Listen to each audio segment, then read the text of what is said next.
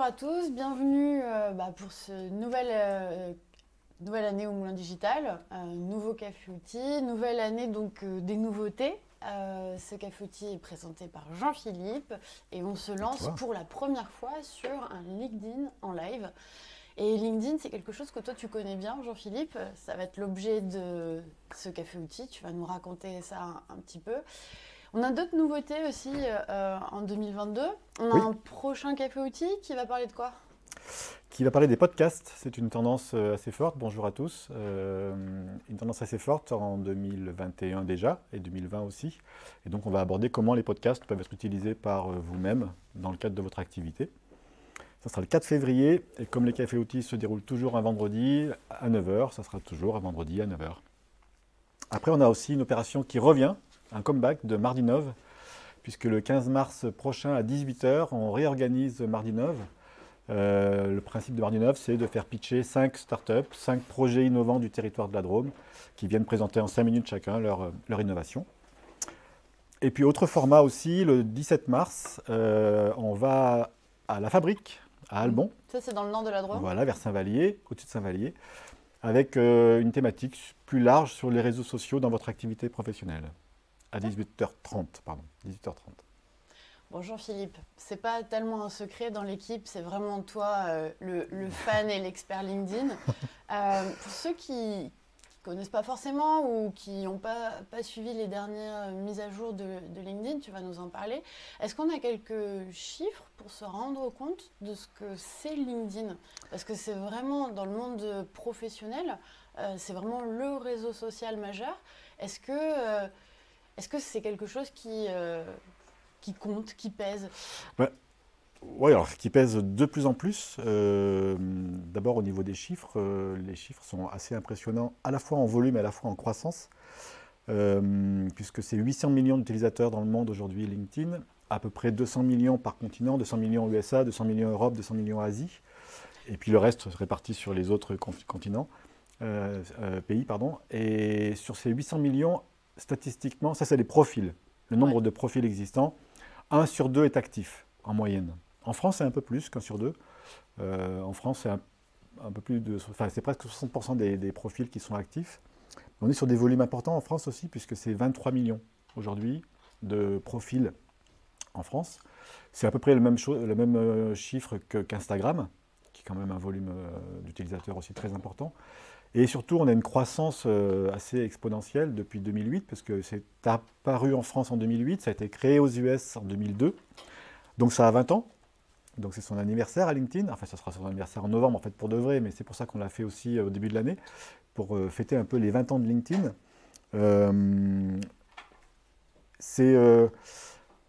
Il y a un truc qui a, été un peu, un comment dire, un tournant un peu, c'est en 2016, euh, Microsoft a racheté LinkedIn.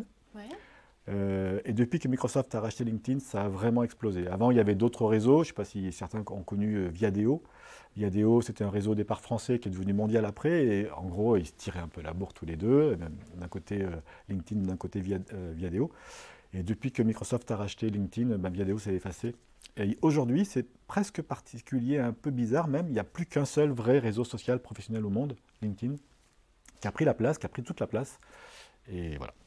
Et donc, euh, euh, si, si je raisonne euh, pour moi, euh, potentiellement, il y a 23 millions d'autres professionnels français avec qui je peux en- entrer en connexion, en France bien évidemment, mais aussi dans le monde, tu le disais. Mais le pire, c'est que c'est vrai. Non, mais le pire, c'est que c'est vrai, c'est-à-dire que potentiellement, on va le voir tout à l'heure, mais quand vous faites une recherche, si vous allez dans la barre de recherche de LinkedIn, vous ne mettez aucun critère et vous faites entrer, il vous propose, 20 il vous propose euh, 800 millions de, de profils. Est-ce qu'on peut proposer aux personnes qui suivent là maintenant le live de faire euh, le, Le test. le test, puisque vous êtes sur LinkedIn, tant qu'à faire? Vous allez dans la barre de recherche, Ben, je vais même vous le montrer. Normalement, ça doit marcher, Xavier, si je le fais en direct. Si je fais recherche et que je tape rien. On a peut-être oublié de le préciser, mais euh, les Oui, personnes qui sont à distance, si vous avez des questions à Jean-Philippe, si vous avez des questions à la salle, puisque là ils sont bien silencieux, mais en fait on a un public devant nous, ils sont là avec nous pour nous soutenir, merci beaucoup. Euh, et alors du coup, 23 millions? Non, plus, euh, parce qu'on a accès à tous les, tous les utilisateurs mondiaux. Et quand Mhm. je fais dans la barre de recherche ici, là, je, je fais entrer, et que je vais chercher ici, je vais filtrer par les personnes, les profils en fait, dans LinkedIn, vous avez environ 786 millions de personnes qui sont euh, accessibles. je pense qu'il y a de quoi faire avec 786 millions et il y a même beaucoup trop de personnes euh, dans ce, réseau-là, mais ça montre quand même que c'est un vrai réseau de personne à personne, un vrai réseau euh, humain, pas humain, si un vrai réseau de personne à personne. Et l'idée, c'est dans ce réseau-là de faire des choses et c'est ce qu'on va voir maintenant. Je reviens sur le chat quand même, c'est important. c'est notre première sur LinkedIn Live, donc n'hésitez pas à, tester avec nous aussi, même ceux qui sont dans la salle de nous poser des questions, d'interagir avec nous dans le, dans le chat de, LinkedIn. Juste une petite précision quand même par rapport au, profil français, à la partie française. Euh, j'ai repéré, enfin il n'y a pas très longtemps, euh, ce qu'ils appellent les top influenceurs euh, mhm. sur LinkedIn. En France, la troisième, donc le, premier c'est Emmanuel Macron, deuxième je ne sais plus qui c'est, troisième c'est Anne-Sophie Pic. Une valentinoise. Oui, une valentinoise, et qui est quelqu'un qui fait autre chose que du numérique, autre chose qu'une profession qu'on a l'habitude, ou, conseil, ou consultant, etc. Et qui fait un métier qui, a priori, on se dit, mais ce n'est pas, pas, son, pas son réseau de, prédilection. Donc ça montre que LinkedIn aujourd'hui, c'est complètement ouvert au niveau des profils, mm. et qu'avant, on était quand même sur des profils très cadres, sup, sup, international. Et, puis, euh, tertiaire, Là, pour le coup, euh, l'exemple que tu donnes, c'est quelqu'un qui est euh, du monde de la restauration et a priori, on se dit que LinkedIn n'est pas forcément adapté pour eux. Exactement. Euh, pour revenir après sur les chiffres, eh ben, 3 500 000 profils français utilisent LinkedIn chaque jour. Donc je pense que là-dedans, ça montre que vous avez largement de quoi faire pour trouver un réseau, pour trouver des partenaires, pour trouver des clients, pour trouver, ou pour même vous faire exister, ou pour même trouver et rencontrer des gens. Parce qu'un des enjeux de LinkedIn, quand même, c'est pas rester sur un mode euh, réseau social euh, numérique, mais c'est aussi de passer dans la vraie vie. Et est-ce qu'on sait quelle est la principale motivation des gens à, rejoindre ce réseau social? Alors il y en a plusieurs. Il y a effectivement euh, une motivation liée à l'emploi. Je cherche un travail ou je cherche quelqu'un. Ah, finalement, c'est une, une, place de. Enfin, c'est un job board Est-ce que est-ce que c'est simplement un endroit où je vais télécharger euh, des offres d'emploi ou un CV C'est une grosse partie de LinkedIn. Ça. La partie emploi, est une, historiquement, a toujours été une grosse partie de LinkedIn et toujours une grosse partie de LinkedIn, euh, euh, la partie travail, chercher un job ou, ou recruter quelqu'un, des pépites. Il y a une deuxième motivation qui est tout simplement travailler son réseau. Travailler son réseau professionnel. Et travailler son réseau professionnel, on le sait tous, hein, euh, ça va servir un jour pour son travail, mais ça peut servir pour, son, pour, un futur emploi, mais ça sert pour son activité au quotidien. Euh, il y a une troisième euh, motivation, c'est de trouver du contenu. Faire sa veille. Finalement, ma veille professionnelle, je peux la faire sur LinkedIn. Peut-être, oui, faire sa veille, bien sûr, mais peut-être plus précisément, trouver un conseil, trouver un tuto. Et finalement, quand on, on se rapproche finalement de ce que les réseaux sociaux sont aujourd'hui, comment faire un truc, comment trouver une réponse A. Et du coup, si vous, vous vous positionnez en tant que producteur d'information, positionnez-vous aussi comme ça. Euh, ben, je peux apporter un conseil, je peux apporter une idée, je peux apporter un tuto, je peux apporter une façon de faire. Mhm. Donc euh, ça, c'est une très grande majorité des, en tout cas, des contenus qui sont engageants. On verra après ce que c'est, mais des contenus qui performent en termes de, de, de partage, d'interaction. Voilà. Est-ce qu'on peut faire un rapide sondage dans le chat, mais peut-être aussi déjà avec vous dans la salle? Est-ce que euh, certains d'entre vous ont trouvé un emploi actuel ou passé via LinkedIn? Bien joué. Oui, ah. monsieur. Alors, moi, je suis à l'écran, mais je plaide coupable. D'accord, il y a une personne qui a trouvé euh, via LinkedIn. Pour être concret, du, comment dire, du travail, mais via du partenariat. ok. D'accord. Mais c'est quand même, euh, voilà, c'est puissant parce que la personne rencontrée dans la vie de tous les jours, j'aurais jamais pu prendre contact avec cette personne sans ce réseau. Donc, euh, trouver du travail par mise en contact. Ben, parfait, c'est un bon exemple. Moi, j'ai d'autres exemples euh, qui me viennent. Hein, trouver des clients, des mhm. clients improbables, des clients qu'on n'aurait jamais pu imaginer autrement que par LinkedIn. En termes de fonctionnalité dans LinkedIn, quand même, pour préciser, là, on parle beaucoup de profil. C'est l'usage principal que chacun fait dans LinkedIn qui est un peu différent dans Facebook. Facebook, on a le profil, la page. La page devient assez importante et même Facebook pousse à ce que les entreprises utilisent la page. Dans LinkedIn, c'est un peu particulier.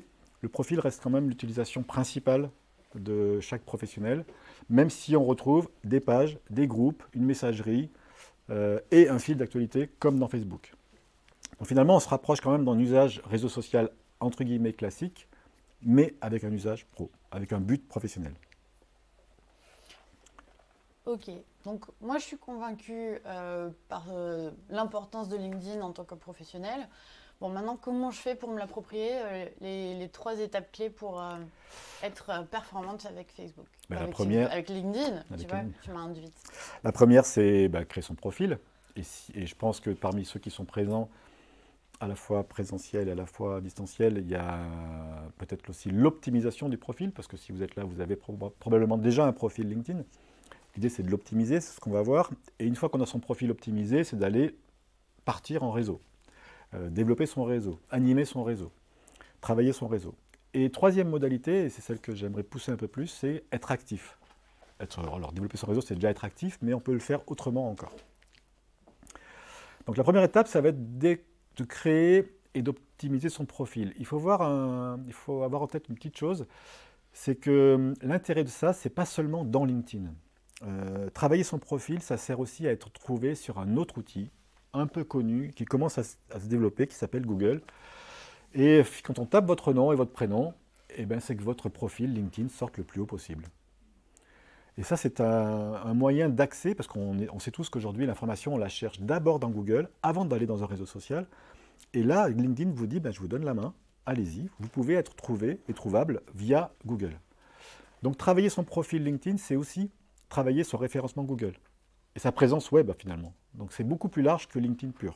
Et est-ce que c'est euh, valorisé d'apparaître, euh, par, par, exemple moi j'ai plein d'homonymes, mais on est très nombreux à avoir plein d'homonymes, est-ce que c'est valorisé d'avoir euh, son profil parmi les plus hauts de la...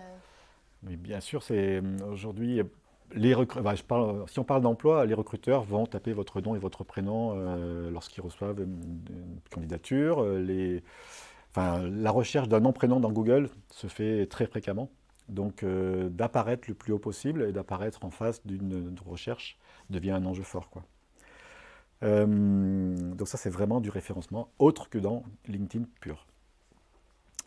Les éléments qui sont importants sur un profil, ben, vous le savez tous, hein, mais la première chose qu'on voit sur un profil social, c'est la photo quel que soit le, réseau social d'ailleurs. Hein, euh, premier élément quand on existe sur un réseau social, c'est qui vous êtes. Mais c'est dans la vraie vie, c'est pareil. Hein. Dans la vraie vie, on se regarde, on se, découvre. Et donc l'idée, c'est que là, on est sur un, outil dématérialisé. Comment on fait, euh, comment, on, dit ce qu'on est à travers une photo? Et là, il n'y a pas de réponse type, hein, parce qu'on voit plein de trucs sur le net, euh, sur les bonnes façons de présenter une photo. Il n'y a pas de règle. La seule chose, c'est de choisir l'impression que vous voulez donner. Et ça va dépendre si vous êtes en recherche d'emploi ou pas en recherche d'emploi, si vous êtes en recruteur, si vous êtes euh, purement euh, en activité créative, pas créative. Donc il faut faire attention aux règles un peu qui, se, qui pourraient circuler. Euh, disons que la première chose, c'est d'en avoir une, parce qu'il y a encore beaucoup de profils LinkedIn qui n'ont pas de photo. Et en gros, c'est bizarre de dire je vais sur un réseau social et j'y vais cacher. Donc il faut en avoir une. la deuxième, c'est que cette photo, elle apparaît de partout, dans vos usages LinkedIn, sur vos échanges, dans la messagerie, sur vos commentaires dans un, dans post, sur vos, sur vos groupes de discussion, de partout, de partout. Donc c'est important de savoir qui parle à quel moment. Euh, la deuxième chose, c'est euh, troisième chose, pardon, c'est euh, les tendances. Alors les tendances, il y a deux tendances principales. Un, c'est auparavant c'était que le visage. Maintenant, c'est d'aller plus sur un buste, une photo un peu plus large que le visage pur. Voilà, c'est une petite tendance, pas forcément une règle là encore. Autre tendance, c'est euh, d'entourer la photo, une petite, euh, mode plutôt qu'une tendance d'ailleurs, d'entourer la photo par un cercle avec des couleurs, voilà, qui fait ressortir un peu la photo sur le profil LinkedIn par rapport aux autres. C'est un peu ça, se démarquer aussi. Ça, avec Canva, vous pouvez le faire très bien. Hein. Canva propose, euh, propose de faire ça très très bien. Bah, c'est un peu comme, l'exemple que tu montres. Je l'ai volontairement pris comme, comme exemple, c'est une petite mode actuellement. Et la troisième chose, c'est, vous, vous voyez que la photo, elle apparaît sur la gauche de l'écran, et vous avez un bandeau au-dessus. Donc l'idée, c'est de regarder plutôt vers la, donc sur l'écran, quand on est en face à l'écran, enfin à gauche, du côté du bandeau, pour ouvrir le champ plutôt que de le fermer. Voilà, c'est une petite euh, troisième euh, idée, voilà, plutôt qu'une règle. Donc moi, si ce que je retiens de, ce que tu dis, Jean-Philippe, c'est finalement la photo, il faut un peu qu'elle ressemble à comment on serait en milieu professionnel de manière euh, classique. Effectivement, si on est euh, dans un environnement où on souhaite apparaître justement d'une manière un peu traditionnelle, bah, on va euh, privilégier ce que tu disais, soit la photo, alors plus ou moins longue, mais bien de face, avec, on va dire, un environnement neutre, peut-être une expression et... un habillement neutre, ou au contraire, si on- on- d'habitude on souhaite euh, être perçu un peu différemment, on se met en scène. Par contre, ce que tu dis, c'est qu'on voit le visage, c'est plutôt ça la règle. La, la photo vacances sur un beau paysage, c'est pas forcément adapté parce que du coup, on va être complètement noyé dans la petite icône. Alors que c'est celle qu'on a envie de mettre parce qu'on est bronzé et on est souriant. Ah, bon, bah, voilà. Et celle qui est où, où on se trouve très jolie, mais un peu pixelisée, et puis peut-être que ça fait un peu longtemps qu'on l'a prise. Est-ce que on peut? Parce que vraiment, moi, je m'aime vraiment bien sur cette photo-là. Je peux quand même continuer à l'utiliser. Ben non, justement, l'idée, c'est d'avoir une photo récente, la photo euh, qui permettrait de se dire demain, je vous rencontre dans la vraie vie. Ah, c'était. mais- Voilà. Euh, Il y a une autre photo qu'on oublie souvent. Euh, alors, pardon, non, petite nouveauté, parce qu'on parle de nouveautés. Donc, euh, à chaque fois, je vais insérer des nouveautés dans LinkedIn. On peut faire une vidéo maintenant dans son profil. D'avoir une petite photo. Et lorsqu'on reste sur le profil, la vidéo se lance. Je vais vous faire un exemple. Ah, mais non, je crois que je ne l'ai plus, l'exemple. Ah si, je dois l'avoir comme ça.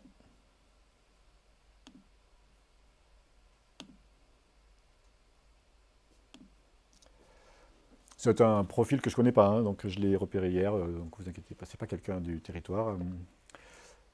Voilà, donc on est sur son profil, il y a sa photo qui apparaît, et hop là, une- pardon, j'ai cliqué quelque part sans faire exprès. Donc, si on sa photo, euh, voilà. Non, juste le temps, le temps de rester. Il y a une petite, petite vidéo qui se lance. Alors, je n'ai pas mis le son là, hein, mais il présente un petit peu son activité.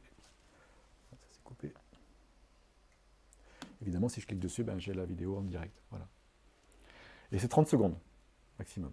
Ça, c'est une nouveauté. C'est une sorte de, de, de vie euh, plus humaine, on va dire, euh, d'un profil LinkedIn. C'est pour la rendre moins statique, en fait. Exactement. Et la photo qui apparaît dans le cercle, elle est tirée de la vidéo Non, c'est- c'est une autre photo. On, on poste une photo et on poste une vidéo. La photo apparaît de façon statique d'abord, et ensuite c'est la vidéo qui se lance derrière.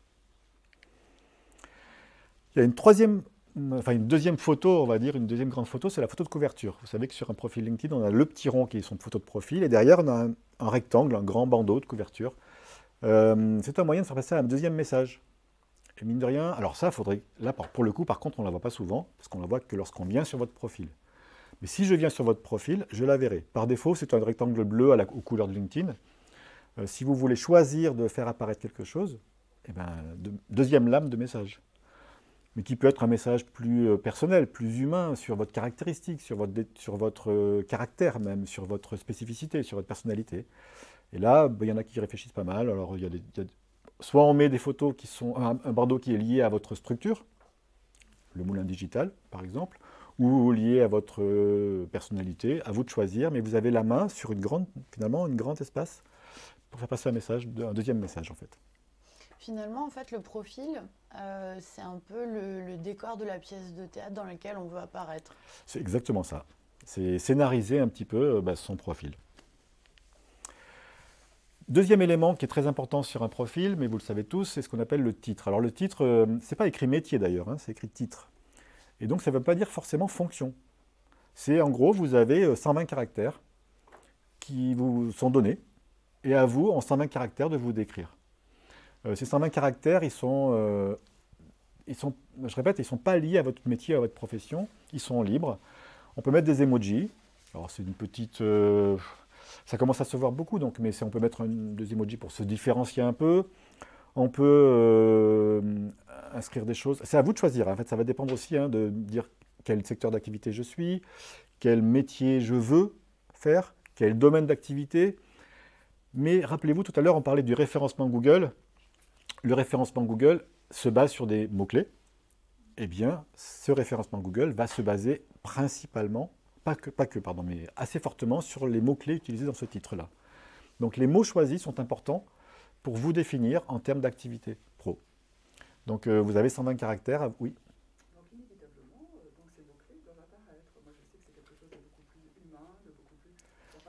Alors, faut faire apparaître les mots-clés Alors, est-ce qu'il faut faire apparaître les mots-clés? Alors oui, mais pas en, pas en mode mot-clé, pas en mode hashtag, pas en mode mot-clé tout seul. Mais en- dans une phrase, choisir les mots en se disant que les mots choisis sont des mots importants par rapport à son activité pro. C'est juste ça quand on dit mots-clés. C'est juste euh, que les mots choisis sont importants.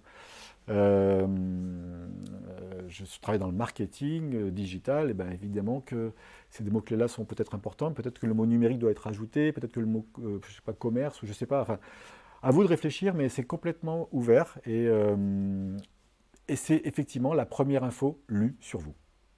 La première info vue sur vous, c'est votre photo. La première info lue sur vous, c'est votre titre. À, part, votre nom, prénom, mais ça, c'est pas, pas ça qui est déterminant. Mais ça, c'est déterminant par contre. Euh, et la plupart du temps, les gens laissent l'expérience, la dernière expérience qu'ils ont eue comme étant le titre de leur profil. Je trouve qu'il y a encore en 2022 euh, la, m- enfin, la possibilité de se démarquer voilà, par ce titre-là. Vous pouvez vous démarquer avec 120 caractères. Mais euh, pour autant, si par exemple moi je suis directeur administratif et financier et que je trouve que le, mon, mon intitulé de poste reflète vraiment le message que je veux faire passer sur LinkedIn, finalement c'est très bien aussi. Peut-être que je rajouterai quelque part DAF. Parce que DAF, ça peut être une recherche que font rég- régulièrement des recruteurs ou des gens qui cherchent quelque chose en, en lien avec ça. Donc du coup, dans mon, dans mon poste, j'aurais pu mettre effectivement directeur administratif et financier. Dans mon titre, j'aurais rajouté euh, une barre verticale, c'est une grande barre verticale et DAF derrière. Là, j'ai mis deux exemples, euh, un de Xavier et un de moi, pour vous montrer qu'en fait, on voit à chaque fois dans un commentaire, dans une ré- réaction à un commentaire ou dans un post, le, profil et le titre. Donc c'est vraiment euh, pour montrer que c'est de partout dans LinkedIn. À chaque fois que vous interagissez, que vous, existez, photos et titres qui apparaissent. Et euh, j'ai une question, est-ce que pour vous, vous trouvez difficile de, formuler votre titre pour ceux qui se sont lancés dans cet exercice? Je, je pose la même question aux gens sur le chat, est-ce que...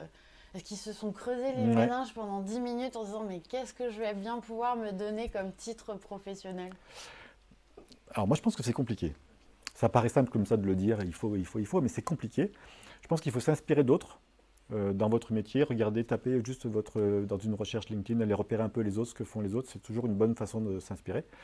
Euh, mais c'est pas simple. C'est pas si simple que ça dans la mesure, au contraire, c'est plus simple de mettre euh, son, son poste. Mhm. Euh, ça se paraissait facile, mais c'est pas ce qui est le plus pertinent. Voilà. Est-ce que finalement, si, si je dois créer ma page, euh, voilà, euh, j'en suis au tout début, est-ce que c'est plus simple pour moi de remplir toute la partie un peu CV et finalement, à la fin, une fois, non? Moi j'aurais fait l'inverse. il faut commencer par Ouais. ça et euh, ça détermine la suite. Exactement. Ouais. Il y a une troisième rubrique importante qui n'est pas encore arrivée aux expériences, justement, c'est la rubrique qui s'appelle les infos. Avant, ça s'appelait résumé, maintenant ça s'appelle les infos. Là, infos. Euh, là, vous avez euh, 10 lignes euh, qui vous sont proposées aussi. Et là encore, y a, à, part, le mot info, il n'y a pas quelles sont les infos sur vous? Et c'est là qu'on peut peut-être aboutir à des choses, enfin arriver à des choses un peu plus humaines, un peu plus personnalité, un peu plus. euh, En gros, un directeur administratif et financier et un autre, on pourrait dire c'est le même poste, mais ils sont tous différents. Quelqu'un qui est euh, chargé de marketing et un autre qui est chargé de marketing ont le même métier, mais ils sont différents. Et ils ont des différences qui sont liées plutôt à leurs soft skills qu'à leur, euh, diplôme ou qu'à leur euh, poste. Et ben, c'est là-dessus qu'on va pouvoir se différencier. Est-ce que c'est là où on explique un peu la vision qu'on a de son métier?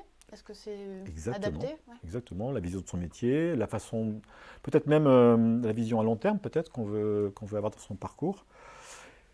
Et puis il y a une chose aussi, euh, il faut savoir que sur LinkedIn, quand on veut être en relation avec, quand on veut écrire un message à quelqu'un, il faut être en relation avec lui dans LinkedIn. Quand on veut contacter quelqu'un, il faut être en relation avec lui dans LinkedIn. Sauf là. Là, on peut mettre son numéro de téléphone. Là, on peut mettre son mail. Là, on peut mettre ce qu'on appelle un call to action directement dans cette rubrique info. Et je peux appeler quelqu'un sans être en relation dans LinkedIn. Parce qu'il n'a pas répondu, parce qu'il n'était pas connecté, peu importe. Mais euh, du coup, c'est un- peut-être une façon de dire mon profil vous intéresse N'hésitez pas à me contacter. 2.06. machin. D'accord. Donc, toi, tu conseilles vraiment de soigner ces, ces deux éléments-là, le titre et le petit texte. Et la photo. Et la photo. Et, le podium, c'est les photos, titres et, et, et infos.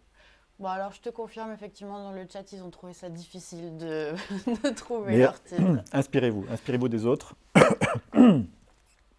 Il y a vraiment des, des sources d'inspiration dans LinkedIn sur, sur la base d'un métier ou d'une compétence. Et enfin, on arrive aux expériences et formations. On n'était pas encore là, on était juste à photo, titre et, info, et là on arrive aux expériences et formations. Là, il n'y a pas de règle si ce n'est ne pas mettre son CV. C'est-à-dire que souvent on envisage son CV comme étant son profil, LinkedIn, et qu'on va faire un copier-coller, on peut même le télécharger. Moi, j'aurais presque dit de ne pas faire comme ça, mais de dire, bah, cette expérience-là, ben, ok, j'ai été, euh, je ne sais pas, euh, caissier euh, à supermarché pendant l'été dernier. Est-ce que ça m'amène quelque chose dans ma démarche, dans mon réseau, dans ma future démarche professionnelle? Non, ben, je ne le mets pas. Et c'est pas grave. Mhm. On n'est pas sur une démarche CV et c'est pas grave d'avoir, de tout mettre. L'idée, c'est plutôt de dire quelles expériences j'ai pu avoir qui me caractérisent et qui donnent à lire de ce que je suis y compris des expériences hors professionnelles. Je suis bénévole dans un club de je ne sais pas quoi et je suis trésorier et je cherche un poste de DAF. Ça a quand même du sens de le mentionner, alors qu'on pourrait le mettre plutôt en rubrique en bas du son CV. On peut le mettre en, mode vraiment important dans son expérience LinkedIn. Deuxième chose à, valoriser, enfin à prendre en compte, c'est euh, de bien citer, si vous le pouvez, en tout cas, les, employeurs et les organismes de formation. Avec un arrobase, vous allez pouvoir chercher s'ils ont un profil LinkedIn ou, une page LinkedIn. Et aujourd'hui, maintenant, enfin, ça y est, les universités, les écoles et les employeurs ont des pages LinkedIn et donc de les taguer directement. Plutôt que d'écrire, euh, je ne sais pas, Université Grenoble-Alpes, euh, eh ben, tapez arrobase UGA euh, et vous la, trouverez généralement aujourd'hui. Est-ce qu'on peut faire une petite incise côté recruteur aussi? Pardon, pardon, non pas recruteurs, mais euh, euh, pour ceux qui candidatent, le fait que les entreprises, les organisations, les universités euh, aient créé leur page, finalement, comme toutes les personnes qui sont passées par ces structures où ils sont encore les renseignent, et que, comme tu le disais, elles vont commenter, partager, amener un certain nombre d'informations, est-ce que finalement, c'est pas ultra important pour la marque employeur parce que finalement tous ces gens vont raconter et promouvoir normalement euh, son entreprise, son organisation, son association ben, C'est tout à fait vrai ce que tu viens de dire. Et puis en plus, il y a des choses que les recruteurs ont que l'on n'a pas en mode gratuit. Là, tout ce que je dis, c'est euh, utiliser LinkedIn en, mode gratuit, sans payer un compte euh, ni commercial, ni recruteur. sur les comptes recruteurs, ils ont des choses supplémentaires. Et notamment, par exemple, ils ont un peu un tracé de votre parcours. Ils ont aussi l'organigramme des entreprises. Euh, qui apparaît directement visuellement. Du coup, euh, de taguer les bons employeurs, de taguer les bonnes structures, vous permet d'apparaître comme étant un ex-employé de telle structure. Lorsqu'on va rechercher, par exemple, je cherche les gens qui sont passés par, euh, par le moulin digital, ben, je peux l'avoir si les personnes ont bien tagué le moulin digital. Donc c'est important de bien mentionner les bonnes structures. Et de, de, je rappelle, hein, de, de mentionner aussi vos expériences bénévoles qui peuvent arriver ou vos expériences de, vie pro, mais pas forcément via un contrat de travail. C'est ce que je veux ouvrir comme champ. Alors, ça c'est une euh, chose importante aussi. Vous avez une rubrique tout en bas de votre profil, mais qui apparaît vraiment tout en bas, qui s'appelle centre d'intérêt. Euh, finalement, les centres d'intérêt que tu peux avoir toi me donnent à lire sur ce que tu es, et pas seulement euh, sur ce que tu fais dans LinkedIn, sur ce que tu es. Et ces centres d'intérêt, c'est lorsque vous vous abonnez à des pages, des comptes, des groupes euh, dans LinkedIn. Euh, alors, pour les, allez, voir quand même ce que vous avez dans votre centre dans centre d'intérêt à vous, parce qu'en fait, on ne fait pas attention lorsqu'on va suivre, lorsqu'on va s'abonner pardon à une page, elle apparaît dans votre centre d'intérêt. Et des fois, on le fait sans savoir que ça apparaît et ce que et ce que je donne comme abonnement est public. Euh, donc allez voir quand même parce que vous avez les écoles, les entreprises, les groupes de discussion auxquels vous êtes abonné. Alors dans les groupes de discussion, c'est un petit peu différent. Euh, pour la mise à jour de ces groupes, de ces centres d'intérêt-là, il faut aller dans le groupe lui-même et dire qu'on reste dans le groupe, mais qu'on ne veut pas qu'il apparaisse dans vos centres d'intérêt. Par exemple, je vais donner un exemple, j'avais un groupe de travail entre les étudiants et moi, et euh, je n'avais pas fait attention, mais effectivement, il, apparaissait, mais c'est un groupe privé, enfin, un groupe de discussion, mais qui n'est pas forcément ouvert et dit public, il apparaissait dans mes centres d'intérêt. Donc je suis, allé faire en sorte qu'il n'apparaisse pas dans mes centres d'intérêt. Euh, comment? Alors en fait, vous, dans votre profil, vous avez, c'est bizarre, tous les autres éléments, il y a une petite, un petit crayon pour modifier, pas celui-ci. Il faut appuyer, il faut cliquer sur tout voir et vous avez tous vos centres d'intérêt et là vous vous désabonnez. Si l'entreprise auquel vous êtes abonné apparaît dans vos centres d'intérêt, le seul moyen c'est de se désabonner. On ne peut pas faire autrement pour l'instant dans LinkedIn. Il y a des choses un peu particulières quand même, des choses dans LinkedIn.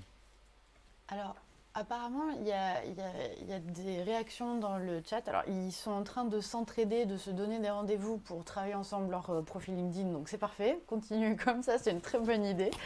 Euh, il y a quelqu'un qui demande avons-nous une traçabilité des personnes connectées, nom, prénom, et les personnes qui n'ont pas LinkedIn peuvent-elles quand même euh, soit se, se connecter, mais j'imagine que pour se connecter, il faut un compte. Mais j'imagine que cette personne disait plutôt est-ce qu'on on peut avoir de la visibilité sur euh, ce qui existe déjà dans LinkedIn sans avoir de compte?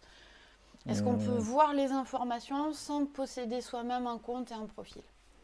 Alors ça va être de plus en plus limité aujourd'hui. LinkedIn, dès que vous arrivez à, vous connecter, enfin à être sur LinkedIn.com, tout de suite il va vous pousser euh, créer un compte, créer un compte, connectez-vous, créer un compte, connectez-vous. Donc c'était possible auparavant. Aujourd'hui, je crois que c'est même plus possible. Vous arrivez tout de suite à LinkedIn vous propose tout de suite de vous abonner ou d'être connecté. D'accord. Et sur la première question, j'ai oublié. Euh, la traçabilité, juste, est-ce que la création du compte, tu disais tout à l'heure, elle est bien gratuite? Elle est gratuite. Euh, petit conseil d'ailleurs, euh, sur la création du compte, il vous demande évidemment, comme tout compte, un mail et un mot de passe. Mettez pas forcément le mail pro que vous avez aujourd'hui dans votre activité pro, euh, parce qu'en fait, euh, il, peut, changer demain. Euh, vous changez d'employeur demain, ben, votre compte, votre mail pro n'existe plus et ça peut être perturbant. Donc vous avez possibilité de mettre trois adresses mail dans LinkedIn, je crois. Mettez une adresse, je sais pas, une adresse Gmail, une adresse Yahoo, peu importe, et rajoutez celle qui est votre mail pro pour une, récupération de compte. Mais voilà, et c'est pas visible, hein, le mail n'est jamais visible dans LinkedIn. Et pour la traçabilité, euh, en fait, en mode gratuit, euh, on ne peut pas forcément voir beaucoup de choses. Après, il faut passer en mode payant. Merci.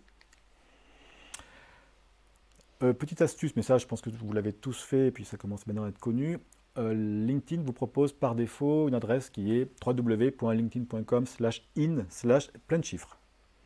Vous pouvez remplacer ces chiffres-là par vos initiales et votre prénom, par ce que vous voulez. Et c'est juste plus propre lorsque vous partagez dans un mail. N'hésitez pas à trouver mon, plus d'infos dans mon compte LinkedIn, c'est plus propre à partager. Ça change pas, ça révolutionne pas l'usage de LinkedIn, mais ça, c'est une petite astuce, et puis c'est proposé par LinkedIn.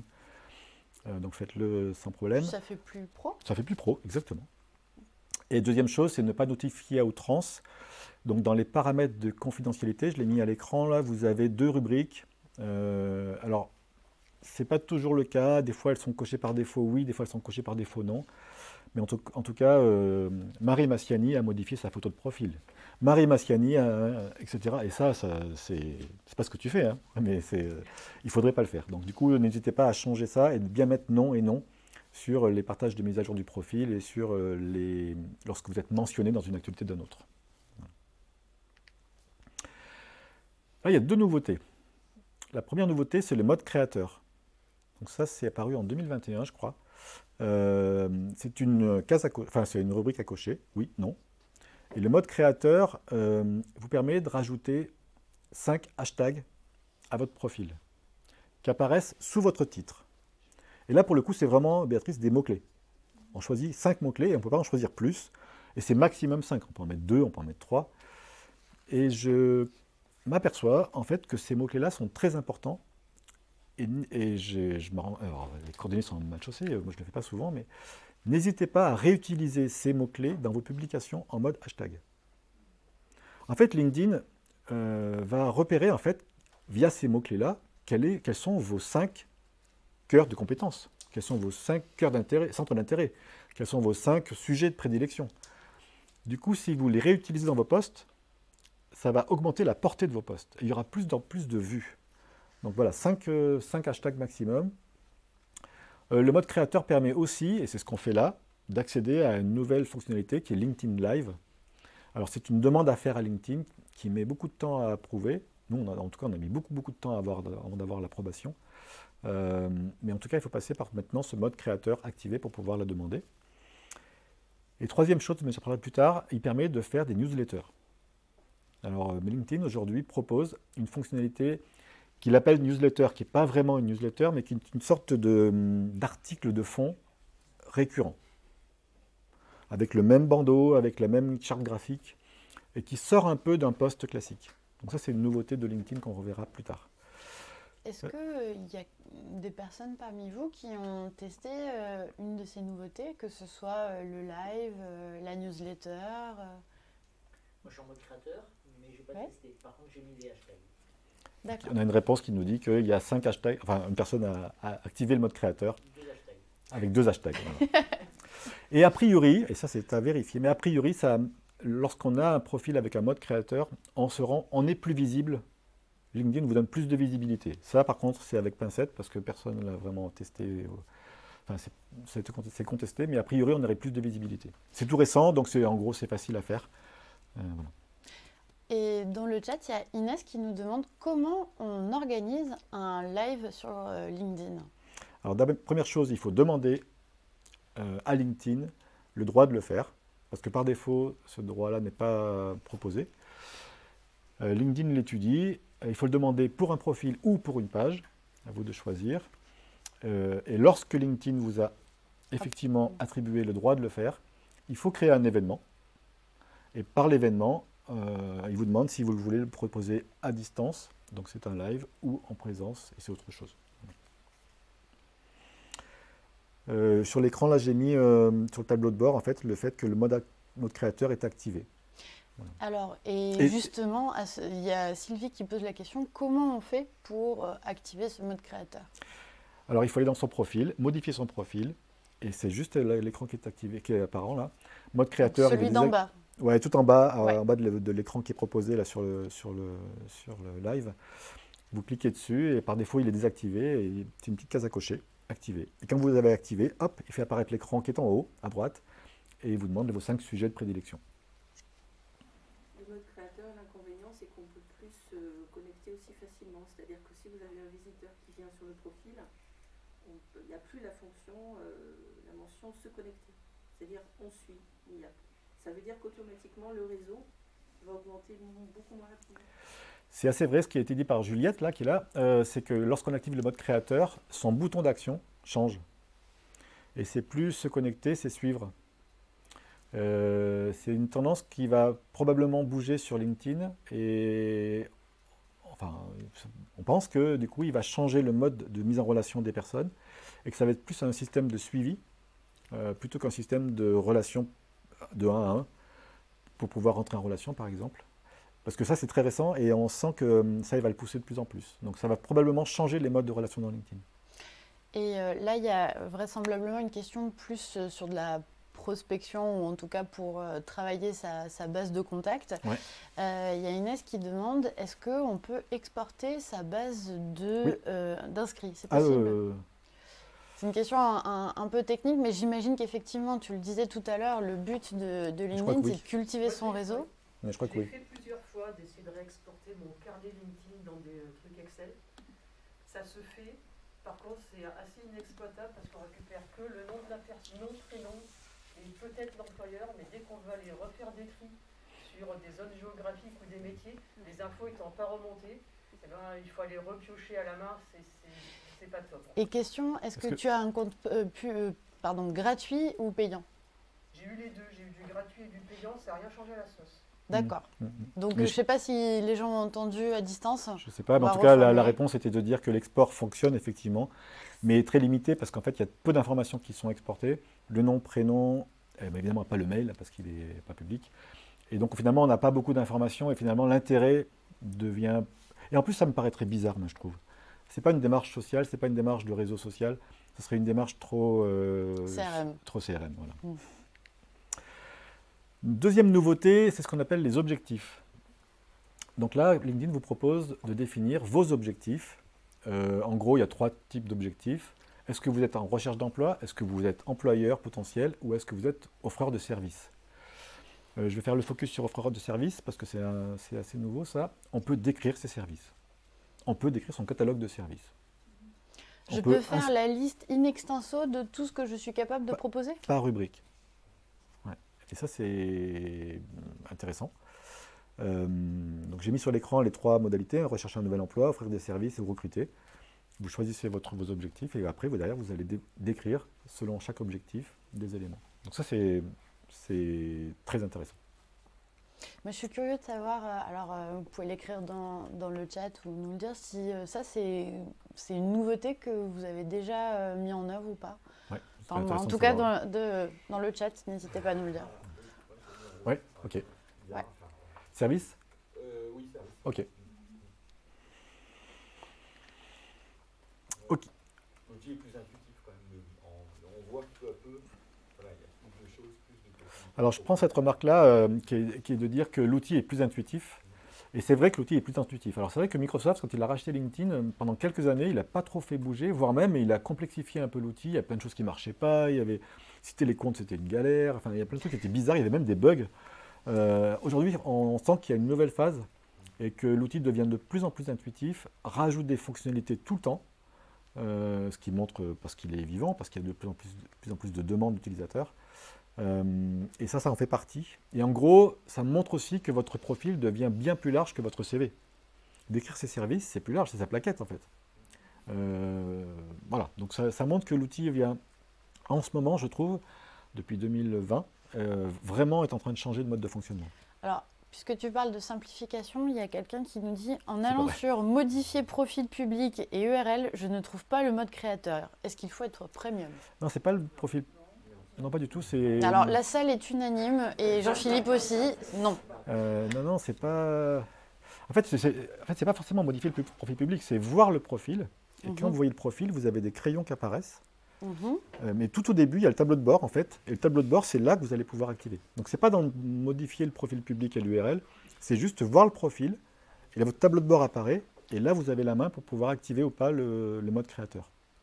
Bah, on espère que du coup, euh, ça va être possible. Ça va être euh, Super. possible. Il y a une troisième nouveauté, c'est ce qu'on appelle la sélection de contenu. Euh, alors, ce n'est pas, pas forcément nouveau, mais LinkedIn le propose maintenant en haut.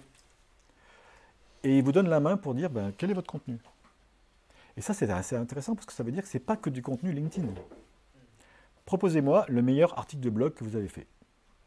Proposez-moi le meilleur PDF que vous avez fait sur un support. Proposez-moi la meilleure photo que vous avez réalisée de votre activité. Et vous pouvez insérer des médias, des supports et des liens URL externes qui viennent récupérer du contenu. Il faut savoir que les trois premiers sont visibles, après il faut faire la petite flèche déroulante. Donc les trois premiers sont très importants. Ce n'est pas forcément l'exemple qui est le bon sur le mien, mais c'est un peu daté. Mais mettez à jour ça, ou en tout cas pensez à ça, ces trois éléments que vous avez réalisés, médias, supports ou liens URL, là encore, qui donnent à lire de ce que vous êtes. Donc, par exemple, euh, sur un produit ou un service, euh, on a obtenu, euh, je ne sais pas, un label, une récompense, un prix. On peut récupérer soit le- le- la page du prix, soit la page de l'article, et on l'insère. Et comme ça parle de notre travail, c'est, Exactement. ça nous permet de le valoriser. Et puis, vous avez fait un post il y a six mois, vous en êtes plutôt content, parce que finalement, c'était un post qui vous tient à cœur. Et bien, vous pouvez le pousser comme ça. C'est un des posts que vous, poussez, que vous mettez en avant dans votre sélection de contenu, en fait, même s'il a six mois. Alors que dans votre compte, quand on va chercher dans votre profil l'ensemble de votre activité, avant de trouver ce poste-là, on ne va pas remonter six mois, euh, personne ne le fera. Donc là, vous allez le mettre en favori quelque part, c'est une sorte de favori de vos trois contenus. Enfin, c'est plus que trois, hein, mais c'est les trois premiers visibles. Euh, vous pouvez en mettre 10, 20, il n'y a pas de limite. Donc, euh, on peut confirmer euh, euh, à Thibaut que effectivement, si euh, il y a une page de- du site de son entreprise qui l'intéresse particulièrement, parce que j'imagine ça touche à son activité à lui, effectivement, il peut bien l'inscrire Oui, là-dedans. Oui, avec une petite réserve, c'est la- le, le côté design, le côté visuel. Est-ce que la page, c'est une page que de texte Elle va pas donner envie de cliquer. Il y a ce Mm. côté-là aussi qu'il faut bien prendre en compte. hein. Si cette page-là, elle commence par une grande image, etc., là, oui, ça a du sens. Donc, il faut peut-être faire un test, voir ce que Voilà. donne la miniature et aller plus. Exactement. Pardon, excusez-moi. Est-ce qu'on a intégré à faire des forests régulièrement? Ah. Alors, il y a une- constaté, c'est qu'a priori, plus j'en fais, enfin plus j'en fais d'un, j'en fais un à deux par mois. Mais je constate une question sur les postes. identique, parce que de par le thème que je vais aborder, de par mon métier, hein, j'ai une thérapie, effectivement, j'ai la sensation qu'ils sont lus de moins en moins.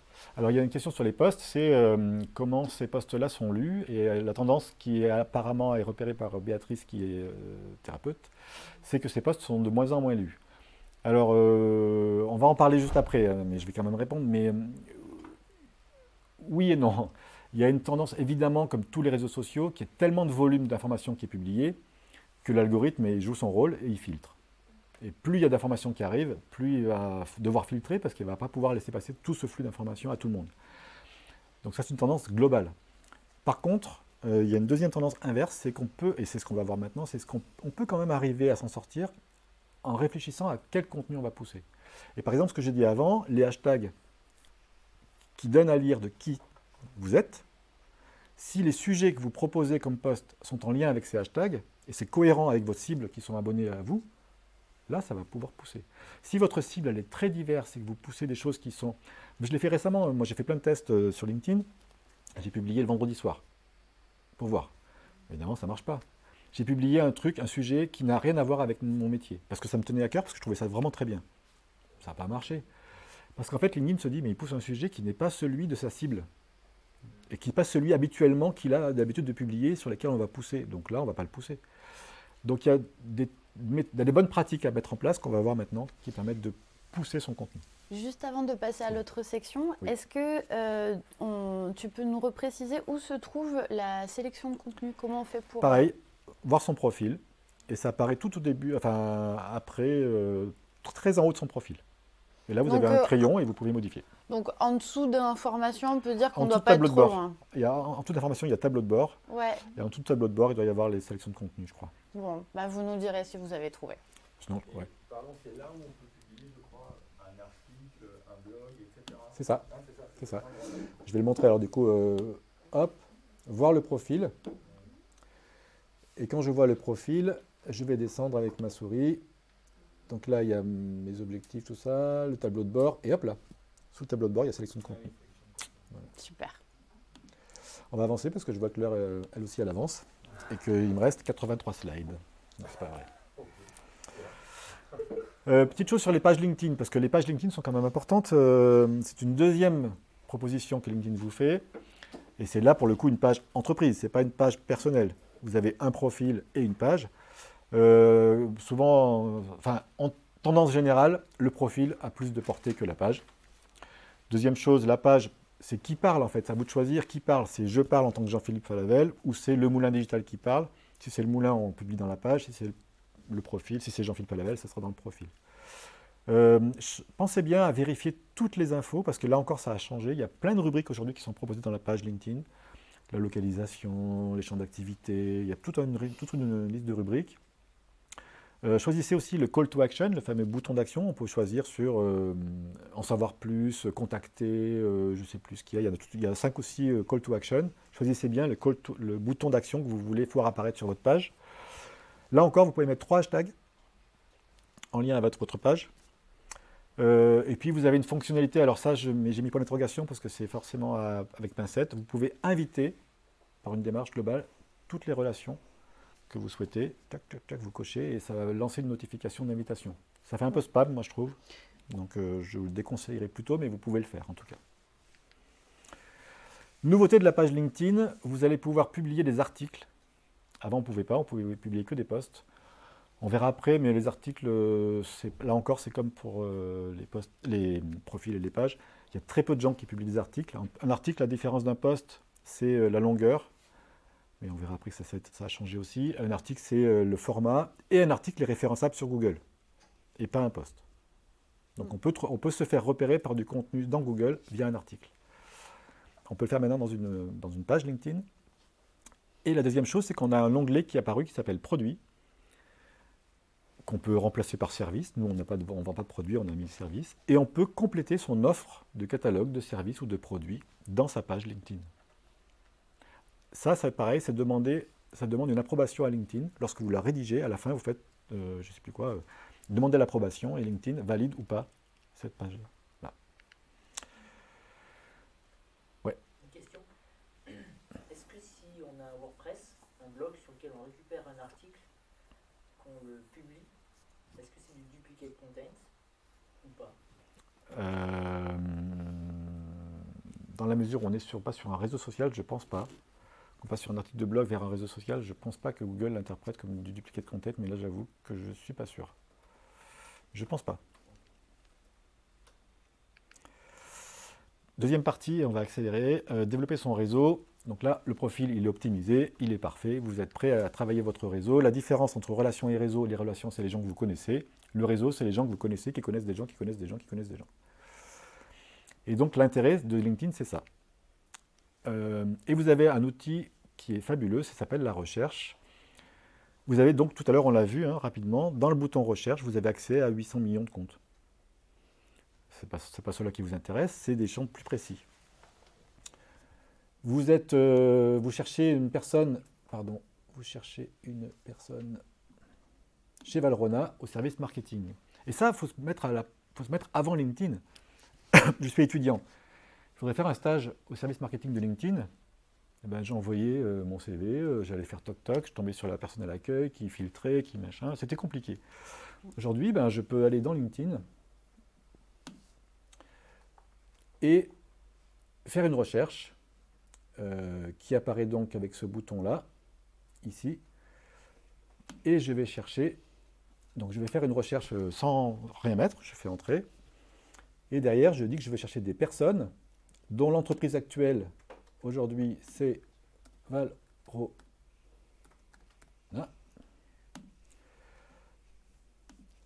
Donc il y en a 665 profils LinkedIn dont l'entreprise actuelle est Valrona. Euh, et je vais rajouter des filtres supplémentaires en affichant tous mes filtres. Et je vais choisir de, de- de rajouter un mot dans le poste où il y a écrit, où le poste contient le mot marketing. Je ne sais pas si j'écris marketing. Ah, ce serait peut-être plus compliqué.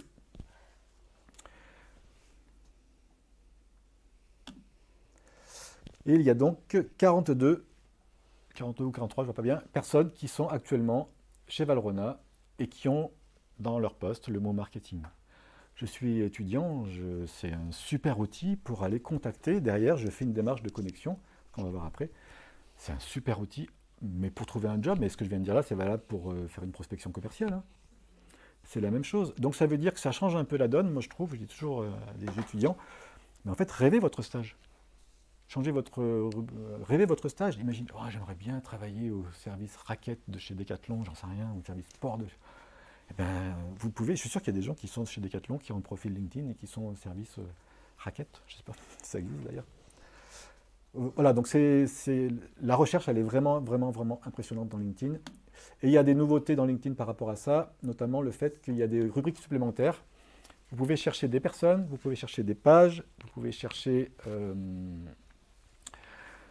des entreprises, des groupes, des écoles, des événements, des cours, des services, du contenu.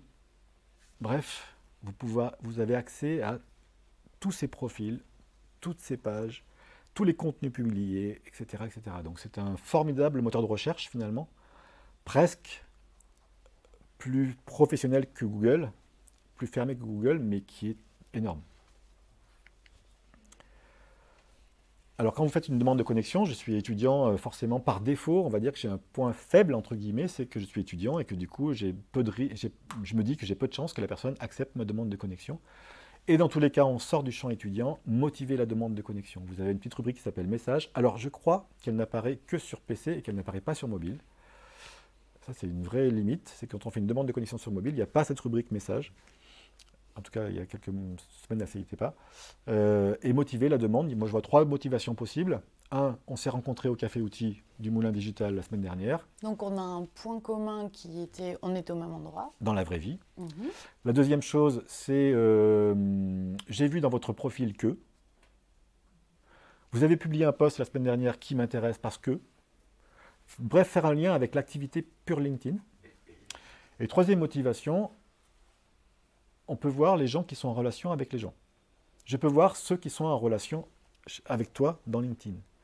Donc, euh, je peux contacter, comme on faisait auparavant, est-ce que je peux appeler euh, machin de ta part?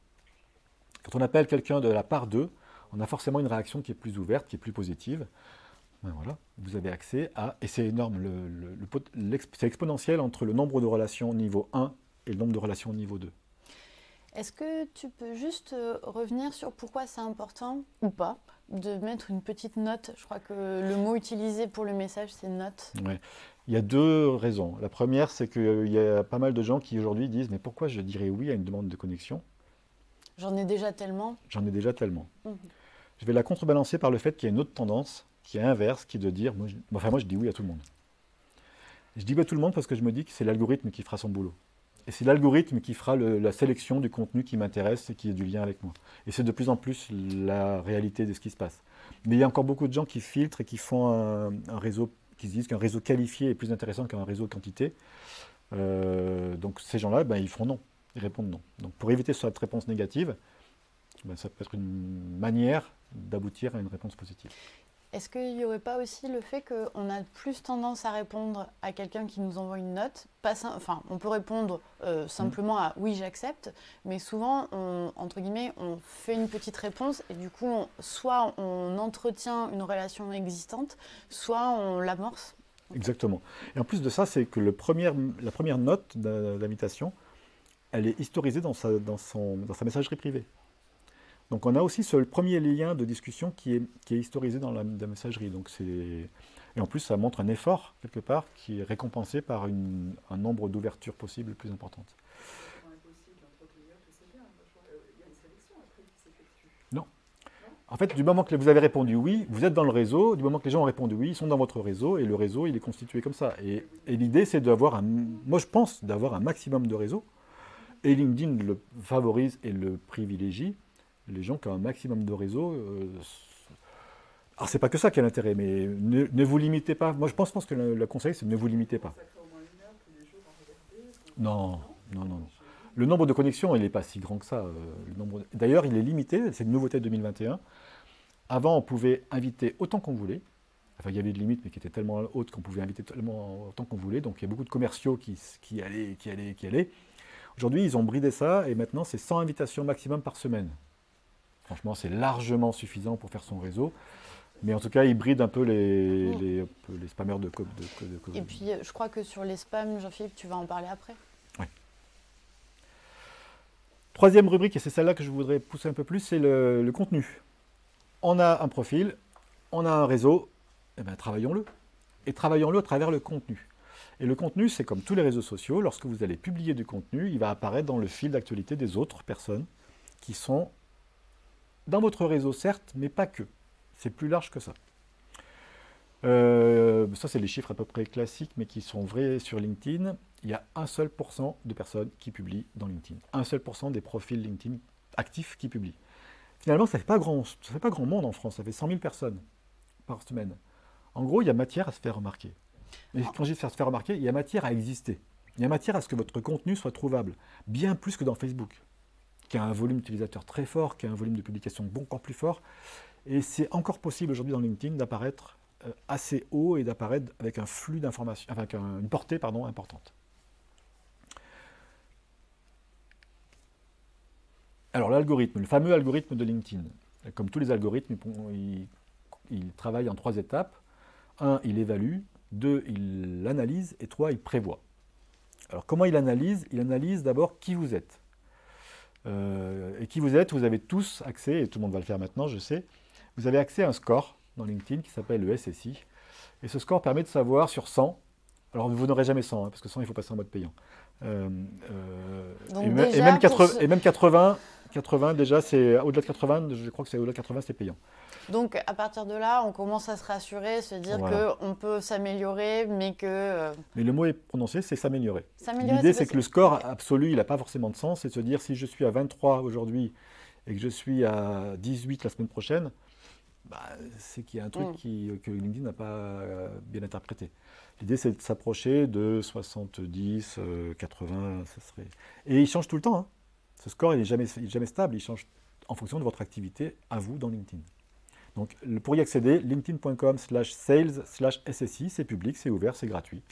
Et vous avez quatre rubriques qui comportent chacune 25 points et qui vous donnent un score global sur 100. Voilà. Deuxième chose, LinkedIn classe, alors les termes sont incroyables, il vous classe comme potentiellement expert absolu. Je trouve ça génial comme... euh, Et c'est facile d'être expert absolu. Et alors si on cherche du travail, il faut l'être. Vraiment. Parce qu'en fait, euh, dans les recruteurs, en fait, dans les classements des profils qui vont sortir, les experts absolus sortent en premier. Donc, et c'est pas compliqué. Ça tient en gros à la complétude du profil. Si le profil n'est pas complet, c'est plus compliqué. Donc, complétez-le au maximum, faites-le vivre et vous serez rapidement expert absolu. Et puis, ayez un réseau.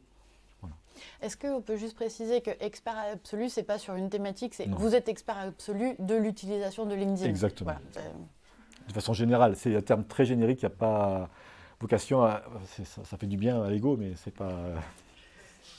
Ok. Deuxième évaluation, c'est le contenu. Je fais un post. Je prépare un post. Je l'écris, je mets une photo, je mets un texte, je mets un lien URL, je mets des guillemets, je mets des espaces, je mets des trucs. Et LinkedIn, l'algorithme, pardon, l'analyse avant même que je le, qu'il le diffuse, lui, à des personnes. Il analyse à travers le contenu, mais de façon incroyable, hein, les mots qui sont utilisés, les personnes qui sont citées, les hashtags qui sont utilisés, la cohérence des hashtags. Et ça, c'est assez bizarre. Mais par exemple, si vous mettez des hashtags qui n'ont qui ont aucun lien entre eux, eh ben, LinkedIn ne sait pas quel contenu, euh, de quoi ça parle en fait. Et comme les hashtags ont un poids plus important qu'un mot classique, il ne saura plus comment le pous- le pousser. Donc si vous mettez des hashtags, maximum 3, et 3 qui sont cohérents entre eux. Et on n'est pas sur Instagram, là, hein, on n'est pas sur euh, Facebook non plus. On- bah, finalement, moi je le fais, mais c'est dommage, en fait, je me rends compte que je ne le ferai plus. Euh, mettez pas un hashtag, hashtag sympa. Parce que hashtag sympa, finalement, ça va perturber LinkedIn, qui l'algorithme dit, mais c'est quoi ce truc euh, voilà. Bah, sauf si tu travailles dans l'humour. Là, tu- Voilà, là, tu peux. voilà. Euh, Il y a des trucs aussi sur la facilité de lecture. Si votre poste fait X milliers de caractères et c'est tout serré et il n'y a pas d'espace, il n'y a pas de ligne d'interspace, ça va compliquer la lecture et l'algorithme vous pénalise. Donc aérez vos postes, surtout que vous allez voir après qu'il a augmenté le nombre de caractères possibles. Euh, voilà, il va analyser si c'est un texte lourd, court, un texte long, enfin lourd mais court, euh, des images, des carousels, des PDF. euh, il va tout analyser et en fonction de ça, il va attribuer un score, évidemment qu'on ne connaît pas. Et ce score-là va, va donner la portée potentielle du poste.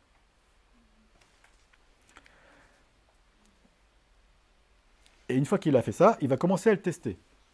Et il va l'envoyer à quelques personnes. Et la photo, elle n'a rien à voir du tout avec le sujet. et il va commencer à analyser l'engagement. Ah, pardon, il faut que je recharge.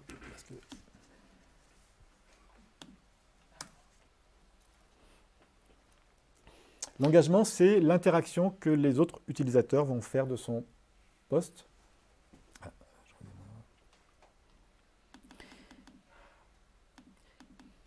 Donc tu disais l'algorithme, trois temps. Le premier, il évalue, donc euh, c'est pour ça qu'on se retrouve avec un, un score par profil.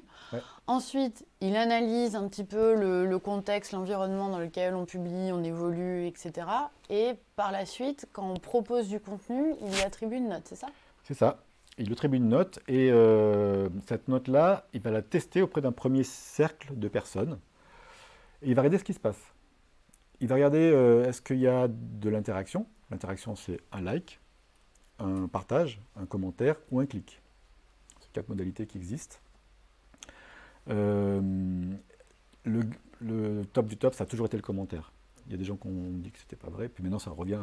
Effectivement, le top du top, c'est le commentaire, les commentaires qui peuvent arriver sur un post. Euh, Donc si on veut être sympa avec quelqu'un, on met un pouce, mais on commente en plus. si vous voulez être sympa avec quelqu'un, c'est ce Ouais. que tu viens de dire. On peut, on peut liker, on peut même pourquoi pas partager, mais surtout on peut commenter. On partage si ça a un sens avec son univers professionnel. Exactement. Parce que sinon, de nouveau, on crée de la confusion dans l'algorithme, etc. Exactement. Il y a une nouveauté dans les commentaires. Je ne sais pas si vous avez vu, c'est assez récent ça. Lorsque vous écrivez un commentaire, tout de suite, il vous propose la rubrique que j'ai mis en dessous. Il vous propose de transformer votre commentaire en post. Alors ça veut dire que si vous mettez top, merci, ce n'est pas, pas un post logique. Si vous écrivez un, commentaire un peu long, un peu de fond, un peu, etc., Mhm. ce commentaire-là, vous pouvez appuyer sur le bouton simplement transformer en post et il devient un post que vous pouvez rajouter une image, vous pouvez rajouter un contenu un peu plus visuel et votre contenu commentaire devient post. Donc on peut légèrement reformater. En fait, il vous, propo- il vous, il vous le propose en, re- en post non, non posté, en brouillon. Quoi.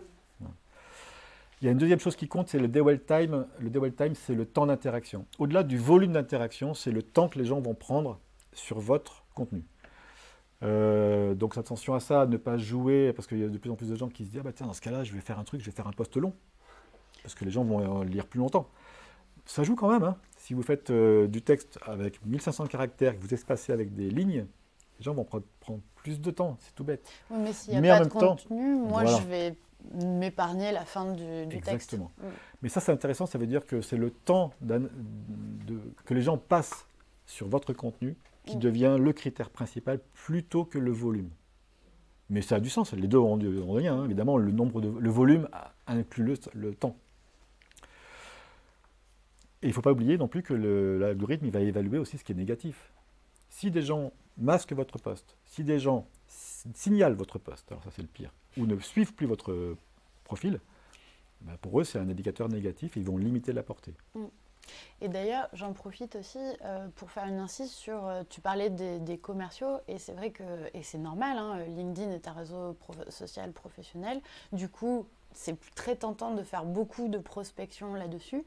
Pour euh, ceux qui systématisent vraiment, qui industrialisent euh, le- cette approche, euh, il y a un effet un peu négatif. Moi, je reçois euh, Mhm. dans ma messagerie, donc je m'attends à avoir un message qui m'est personnel, mais en fait je me rends compte que c'est un message qui est automatique, où euh, on a vaguement, euh, où à chaque fois on, on me demande comment je vais, alors que je n'ai peut-être même jamais rencontré cette personne, euh, et, et en fait finalement j'ai très envie de me désabonner ou de masquer ce profil-là. Mhm. Et donc, euh, sans le savoir, en fait, ce, ce commercial-là est pénalisé dans son, dans, dans son, comment, son indicateur, son taux, son... Son cumul de points. Son cumul de points, ouais, son RSSI. Donc voilà, euh, Mm. comme tu le disais, On reste sur un avant réseau, tout- un réseau social humain, et du coup, d'humain à humain. C'est vrai que beaucoup de commerciaux utilisent ça, hum, mais même pas que des commerciaux, hein, dans l'immobilier, dans l'assurance, on reçoit beaucoup de messages automatisés, on sent bien que c'est de l'automatisme. Et mis sur le volume. Mm. Mais about- ça aboutit à une mauvaise image de LinkedIn d'ailleurs. Donc il est en train d'un petit peu le fermer un peu ça. Et puis une fois que la- la- la- l'algorithme a analysé ça, eh ben, il va choisir d'étendre ou pas en fonction de la- du dwell time, du temps d'interaction et du volume d'interaction. Il dit Waouh Ce que tu as publié, Marie, hier, euh, non pas hier, que tu as publié dans l'heure qui vient de passer. Parce que c'est l'heure qui, vient, qui suit qui est la plus importante. L'heure, du coup, ça, ça repousse à choisir l'heure, mais l'heure qui suit devient, est vraiment très importante pour l'algorithme en disant dans cette heure-là, le premier cercle à qui j'ai envoyé, ils ont, ils ont, il y en a plein qui ont liké, qui ont partagé, qui ont commenté, qui ont cliqué, etc. Donc j'étends, j'étends, j'étends. Donc tu veux dire que si je me lance dans un poste à 11h du soir, c'est Pas bien. c'est pas terrible. Non. Non. C'est vraiment pas terrible. Le Mm. Non plus. On est sur un sur Facebook parfait, LinkedIn non. Euh, et puis alors, petit détail, mais ce qui est surprenant, c'est qu'il y a des gens humains chez LinkedIn qui choisissent à la main de post- de- de- d'augmenter la portée ou de la freiner. Alors c'est pas forcément sur tous les postes, mais il y a des postes qui, naturellement par l'algorithme, sont poussés fort, ils vont vérifier, il y a un truc bizarre. Et, des- et voilà, donc ils vont avoir un rôle, ils ne sont pas nombreux, mais il y a des, des gens qui sont dans une équipe et qui poussent ou pas ou des postes. Alors comment on fait du coup pour euh, augmenter sa, son- sa portée euh, par rapport à ça? Bah, Du coup les images, évidemment les images vont avoir un impact sur la réaction.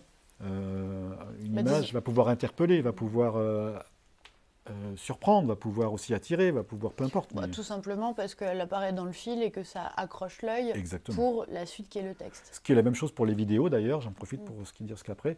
Petite parenthèse sur les vidéos, comme LinkedIn n'aime pas que vous sortiez de chez lui, uploadez vos vidéos dans LinkedIn plutôt que de faire un lien d'une vidéo YouTube par exemple. Ça veut dire qu'on télécharge Oui, pardon.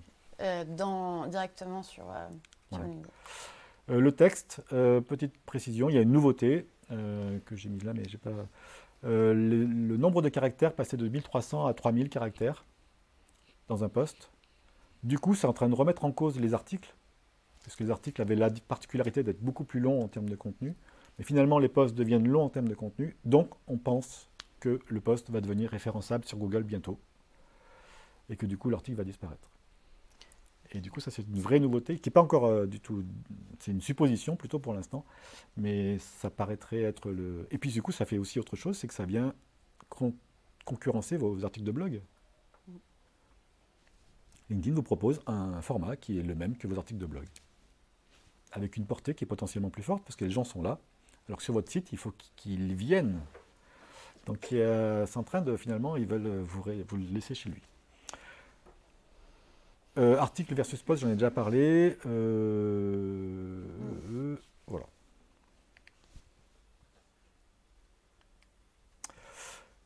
Et puis le contenu qui engage, donc qui donne envie d'interagir, bah, il, y a des, touches intéressantes. Alors, attention, il y a moi je trouve que citer des personnes dans un, dans un post LinkedIn devient très important. Puisqu'en fait, ces gens-là sont cités, donc quelque part, euh, on est cité, on a un premier envie, c'est de liker, partager, commenter. C'est tout bête, mais c'est humain presque. Euh, tiens, on parle de nous. Ah, bon, bah merci. Juste un petit merci, déjà, ça fait une interaction. Donc, choisissez bien qui vous citez et n'hésitez pas à citer. Euh, tout à l'heure, on en a déjà parlé, mais dans le terme de contenu, n'hésitez pas à donner aussi. Plus vous donnez, plus vous allez recevoir. On est sur un réseau social, c'est assez classique, mais finalement, c'est pas toujours évident. Donnez des conseils, donnez votre expertise, donnez vos tutos, donnez vos idées, donnez, donnez, donnez, donnez, vous allez recevoir. Et c'est ce que tu vas faire dans la slide d'après, donner les meilleurs euh, trucs et astuces. Je me rappelle plus ce que je fais dans la slide d'après. Euh, puis soyez humain, soyez humain aussi. Plus vous serez humain, moins on sentira que c'est du formaté, du, de la plaquette, et plus ça sera susceptible d'aller sur de l'engagement. Euh, le contenu qui est favorable à cette, au ce temps d'interaction, ben évidemment qu'un texte long va être plus long à lire qu'un texte court. Voilà. Les vidéos, les carousels. Les carousels, c'est un PDF que vous allez importer et qui va apparaître sous forme d'image 1, 2, 3, 4, et puis vous allez pouvoir faire défiler votre carrousel. Évidemment, un carrousel va être plus long à lire et va renforcer votre dwell time, votre temps d'interaction. Euh, nouveauté dans le contenu, les stories, c'est fini. Ça n'a pas duré longtemps sur LinkedIn. Ils ont, ils se sont dit, tiens, on va faire comme les autres. Et après, ils se sont dit, oh puis non, ça ne marche pas. Et donc, ils ont arrêté les stories tout récemment. J'en profite juste pour dire qu'il y a des questions dans le chat, mais là, euh, on, on- on finit peut-être avec les, Ouais, vraiment les trucs à retenir, et puis là. après, on répond à vos questions si vous voulez. Donc si on veut retenir quelques éléments, la première chose c'est ce qu'on appelle l'heure, la golden hour, c'est l'heure de publication qui va suivre votre, votre poste. Elles deviennent très importantes. Alors par rapport aux heures, il n'y a pas de règle, attention, il y a pas de- on voit plein d'articles là-dessus. C'est le matin, à midi et en fin de journée. Le mardi au jeudi. C'est des tendances. Plutôt le matin, euh, alors après entre 8 et 10, en- entre midi et 2, et le soir entre 17 et 19, 17 et 18 plutôt même. Et le mardi, le mercredi, le jeudi. Euh, N'hésitez pas à citer d'autres profils, j'en ai déjà parlé. Mais si vous voulez que les gens réagissent, est-ce que vous, vous réagissez? Si vous voulez que les gens cliquent, partagent, commentent, est-ce que vous, vous le faites? Si vous ne le faites pas, ils n'auront pas envie de le faire. Si vous le faites sur leur profil, sur leur publication, pardon, ils auront envie de vous rendre l'appareil. Donc il y a une espèce d'échange qui est à faire en quelque sorte. Quel est votre capital réactionnel? Euh, un maximum de contenu natif. Natif, ça veut dire qu'il est chez LinkedIn et pas ailleurs. Les vidéos. C'est vrai que les liens externes, LinkedIn les, les apprécie pas, mais n'hésitez pas à en mettre quand même. Souvent, on voit, il faut en mettre dans les commentaires, ça c'est laissez tomber. Insérez naturellement votre contenu. Si votre contenu il est, un- il est en partie court dans LinkedIn et sur un article de fond sur votre blog, c'est pas grave. Et la pénalité sera pas, bloquante. Mais justement, puisque tu en arrives à- aux questions de, contenu, euh, il y a des personnes qui se. Qui, alors, peut-être pas qui s'inquiètent, mais qui s'interrogent sur. Mais finalement, euh, si je produis du contenu en dehors de LinkedIn et que je dois le reporter sur LinkedIn, est-ce que ça fait doublon? Est-ce que j'ai intérêt à faire doublon? Est-ce que, est Non. que ça peut diluer euh, ce que je- la, la portée de ce que je peux proposer ou au contraire? Ouais, mais j'aurais pas dupliqué le contenu tel quel. J'aurais fait peut-être l'article de fond ailleurs quelque part, pourquoi pas, et puis un extract avec une, une sorte de teasing dans, dans LinkedIn qui repointe vers la page de, de l'article qui est sur votre site ou sur votre blog. Euh, Il y a une chose importante, c'est la, la régularité, euh, la fréquence de, de poste. Donc euh, il n'y a pas de règle non plus. hein. Ne pensez pas que ça va être, on va vous dire trois fois par jour. Au contraire, c'est pénalisant. C'est plutôt maximum une fois par jour. Et si c'est une fois par semaine, c'est pas grave. Par contre, si c'est une fois par semaine pendant deux mois et après plus rien pendant six mois, LinkedIn le sait, ça le voit et il vous pénalise pour la suite. Donc soyez plutôt régulier que fréquent. Voilà.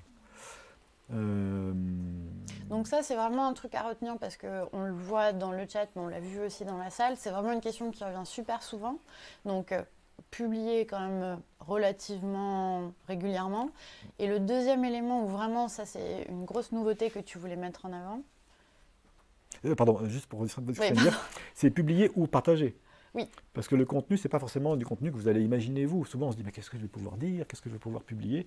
Mais il y a du contenu que vous allez pouvoir repérer qui, qui vous, qui vous, que vous aimez, Mm. qui, qui vous, qui vous semble euh, en lien avec ce que vous faites, qui vous semble, euh, qui vous tient à cœur. Que, voilà, n'hésitez pas à le partager. Ça fait une- Et puis, en partageant, comment, enfin, dites pourquoi vous le partagez, pardon. C'est ce que tu disais à, à Juliette, pas juste merci top, c'est, Voilà. euh, mais de dire j'ai aimé parce que. Parce que. Mm. Et du coup, ça devient un poste, mais le contenu même, il est ailleurs que chez vous. Donc ça fait partie d'une fréquence de publication. Et alors, justement, pourquoi c'est aussi important de le faire? Tu as gardé euh, le- Ouais, la grosse pépite slide. pour la fin. Ouais, en fait, il y a un crédit de publication qui vous est attribué chaque jour. Et ce crédit, il est dégrévé au fur et à mesure de votre activité. Euh, en clair, si vous partagez un, un post d'un autre le matin et que derrière vous publiez, votre crédit est plus aussi fort qu'avant. Du coup, il y a une tendance qui est poster puis partager plutôt que partager puis poster.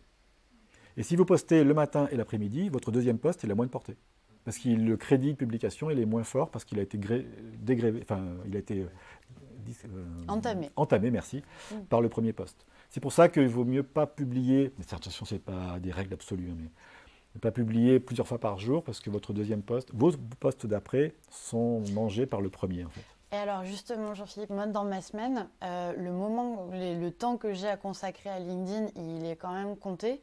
Et finalement, euh, là, euh, j'ai du temps où je me sens en, en écriture. Il y en a deux, trois, quatre qui me viennent. Et tu me dis de ne pas faire tout le même jour, mais comment je peux faire? Ben, faire un calendrier de publication euh, qui peut se faire via un outil ou, ou par Excel. hein, euh, par Excel, Oui. euh, le contenu, tu le gardes tu le- tu le- tu- et tu le publies le lendemain. euh, tu- alors, pas, si- pas si c'est un dimanche mais, ou un samedi. Tu attends la semaine d'après, mais c'est vrai que c'est. Donc, je peux préparer des choses en avance, Voilà. justement, pour euh, ce qu'on disait, maintenir une, une régularité euh, un peu à économie d'énergie. Et on sait, et on félicite, il y a des gens qui ont des calendriers de publication qui sont hyper réguliers. Voilà. On a un peu débordé, mais on est prêt à discuter avec les personnes qui sont euh, éventuellement. euh, qui ont des eu- questions éventuelles. euh, Il y a eu qui- plein de questions dans le chat, mais on peut aussi en avoir euh, dans la salle. Deux questions. On va- Un, un commentaire sur le calendrier de publication, il y a des outils qui sont super efficaces, qui permettent vraiment de stocker, en fait, de se faire euh, un stock qui après va renvoyer aux heures qu'on a prédéfinies. Donc on peut vraiment faire ça en asynchrone, on le fait quand on a le temps et ça publie de façon régulière. C'est vrai qu'il y a des outils qui existent qui permettent de, de, préparer ces publications, de les planifier en fait, et ensuite qu'elles soient automatiquement publiées. Euh, ou de suite, par exemple. Ça, Buffer, voilà, Buffer et ou de suite Mm. sont les deux outils principaux qu'on qu'on a pu repérer là-dessus. Bah justement, il y avait Anne qui avait une question là-dessus qui disait publier grâce à Publer, Later ou Buffer, est-ce que c'est pénalisant? Je sais pas. Semblerait pas. Je sais pas, je pense pas, parce que c'est des outils qui sont justement identifiés par ces réseaux sociaux, qui sont. Je, je pense pas. D'ailleurs, la publication, elle se fait derrière dans l'outil, hein, ça fait, enfin, elle se fait dans LinkedIn, Mm. via un outil intermédiaire, mais c'est LinkedIn qui l'envoie. Et c'est par l'algorithme de LinkedIn qui derrière qui l'envoie, donc euh, non, je pense pas. Madame Juliette. J'ai un retour d'expérience concernant le volume de publication. Euh, c'est une demande qui m'avait été faite par euh, des partenaires, publier pour un festival euh, du film, euh, publier plusieurs fois par jour. Et on m'avait dit, euh, oui, oui, il faut publier un max sur LinkedIn pour avoir euh, euh, le maximum de vues. Sauf que concrètement, moi j'ai vu en termes de stats, euh, c'est pratiquement divisé par deux le nombre de vues. Donc, il y a un témoignage qui est fait ici dans la salle qui montre que effectivement la publication, on va dire massive par jour, ou en tout cas fréquente par jour, ben, ça vient diminuer finalement la portée des publications qui sont faites au fur et à mesure de la journée. Euh, donc ça confirme en fait euh, ce qui Mm. semblerait être enfin, ce fameux crédit de publication qui vous est attribué et qui est remis à, à zéro chaque jour en fait. Il y a Céline qui pose une question, mais je ne suis pas sûre. Peut-être qu'elle peut préciser dans le chat. Elle dit Que conseillez-vous Avoir un profil pro, entrepreneur et perso ou un seul? Donc peut-être que. Céline euh, Non, peut a- préciser. Euh, sur LinkedIn, il y a un seul profil, il n'y a pas. euh, Euh, souvent, dans- on fait de la comparaison avec du Facebook. Il y a un seul profil qui est créé et c'est un profil pro. Mais attention, pro, ça ne veut pas dire pas humain. Ça- Mm. Pro, ça ne veut pas dire pas ses spécificités personnelles. Euh, c'est ce que j'essaie de faire passer tout à l'heure dans, le profil. C'est qui vous êtes. Voilà. Qui vous êtes et lorsque vous arrivez dans un lieu de travail, comment vous êtes, qui vous êtes, avec quelle personnalité vous êtes. Est-ce que éventuellement euh, la question peut se poser pour les gens qui sont dits slashers Tu disais euh, un des éléments de notation, c'est la cohérence.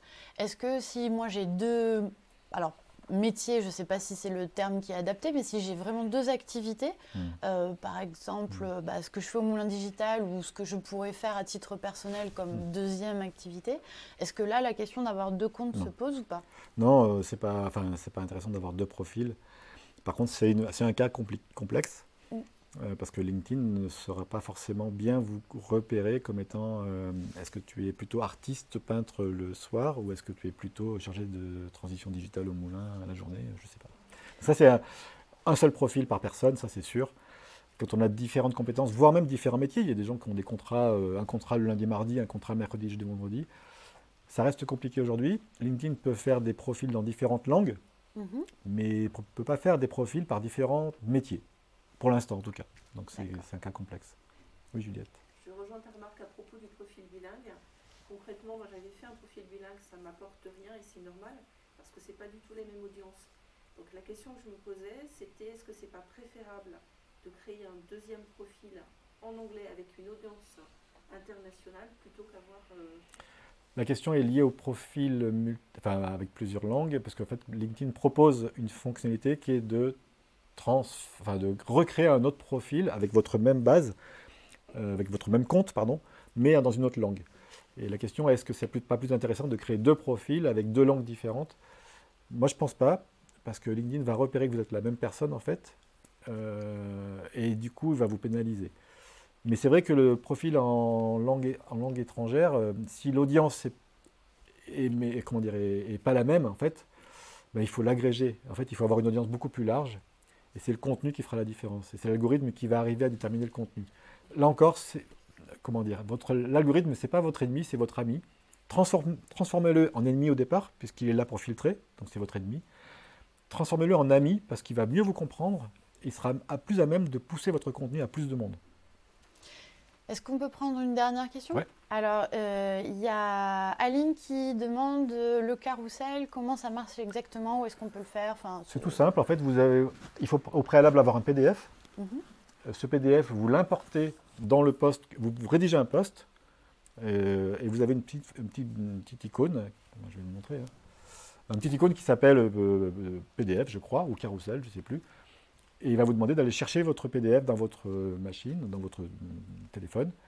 Vous l'importez et automatiquement, chaque slide de votre PDF devient un écran. Pour les, pour les, jusqu'à la limite de. Alors après, il ne faut pas faire des PDF de 46 pages. Une dizaine, c'est le grand maxi. hein. Un carrousel d'une dizaine de slides, c'est le grand maxi. Les gens vont se lasser. On va chercher le dwell time absolument. Mais attention à ne pas lasser les gens. hein. Le dwell time, c'est c'est une résultante. Bon, eh bien, Jean-Philippe, euh, je crois qu'on va tous te remercier. Merci à toi, Marie. Euh, on va remercier aussi les gens qui étaient présents dans la salle. Merci à vous d'avoir fait le déplacement pour euh, nous soutenir. Merci aux gens qui sont et étaient sur le chat. euh, et, et bravo d'ailleurs de s'être lancé dans une grande chaîne de l'entraide. Ils- vraiment, ils ont partagé plein plein d'astuces entre Super. eux. Donc, bah, Bah, J'irai rechercher moi aussi, alors, du coup. Certains nous ont souhaité les vœux de bonne année. Nous, on Oui, l'a pas fait. J'y ai pensé tout à l'heure. Donc bah, merci et puis très bonne année à vous tous et puis peut-être qu'on peut se donner rendez-vous pour euh, parler podcast. Pas les podcasts. Le prochain Café Outil, le premier vendredi du mois de février. Je crois que c'est le 4, mais j'ai un doute. 4, voilà. 4 février à 9h. Et donc euh, on vous dira euh, si on est sur YouTube, sur LinkedIn, euh, etc. On vous dit à bientôt. Merci. Merci, Marie. Au revoir.